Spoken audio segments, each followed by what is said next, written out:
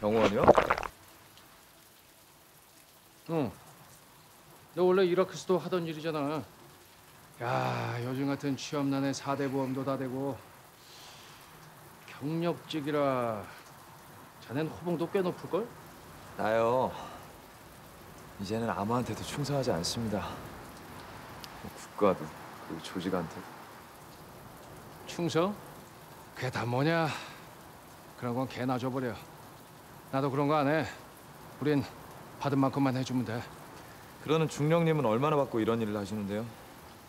뭐 어차피 결국에 이용만 당하고 버림받을 거라는 거 잘 아시잖아요.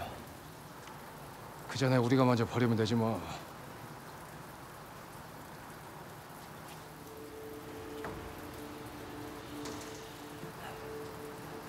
그래요. 많이 변하셨네요. 세상이 변한 거지.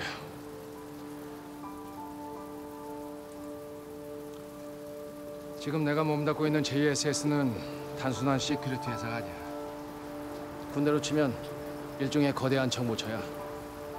안으로는 JB그룹의 모든 사업 기밀 및 비거래 내역까지 속속들이 들여다보고 밖으로는 JB경제연구소를 통해 정치, 경제, 언론인 같은 이 나라 지배층의 동향과 인적 네트워크 정보까지 수집하고 감시하지. 이 사람들 만만치 않아. 틀림없이 청와대 입성할 거야. 그럼 넌 완전히 사면받을 수 있어.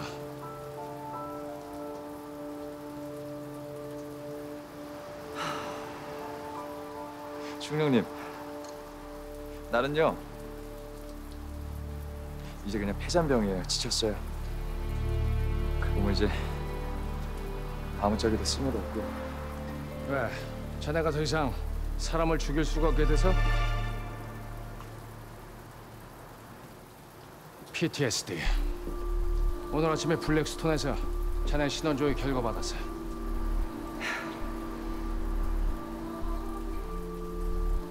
걱정하지 마. 나만 보고 폐기했으니까. 첫날 자네를 죽이러 간 우리 타격대들이 살아있는 걸 보고 그냥 수상하다 생각했지. 그런 것까지 아시는 분이 왜 저를 이렇게까지 붙잡으시는 건데요? 야 이 친구야.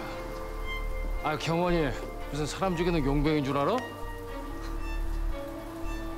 전장에서 최고의 공격수로 동물적 감각을 다진 자네야말로 이젠 적의 공격을 읽어낼 수 있는 최고의 디펜더야.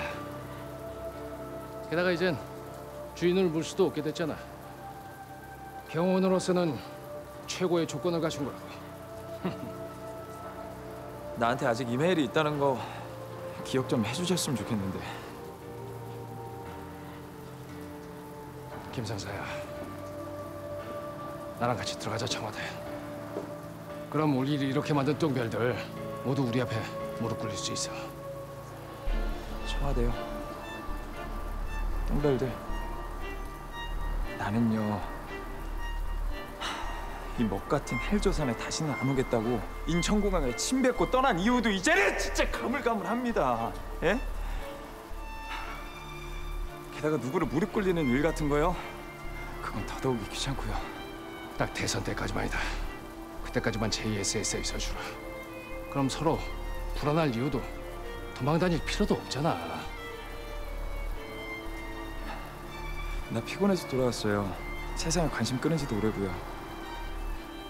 나만 안 건드리면 또 누가 다칠 일은 없을 겁니다.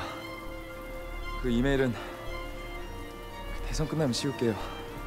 야 김상사. 야 김상사.